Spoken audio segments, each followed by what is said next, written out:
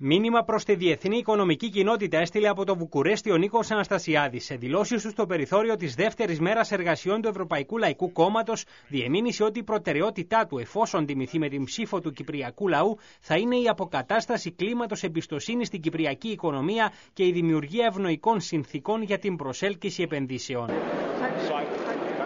Η Κύπρος πράγματι αντιμετωπίζει πρόβλημα ρευστότητας καθώς και διαρθρωτικά προβλήματα. Θα αντιμετωπίσω και τα δύο θέματα. Η έμφασή μου όμως θα είναι στις ιδιωτικές επενδύσεις με προσανατολισμό την ανάπτυξη.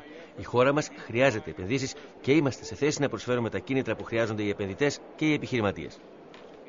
Ο Νίκος Αναστασιάδης τόνισε εξάλλου ότι η προτεραιότητά του είναι η δημιουργία νέων θέσεων εργασίας. Μάλιστα, αναφέρθηκε εκ νέου στη θέλησή του για σχηματισμό κυβέρνησης εθνικής ενότητας.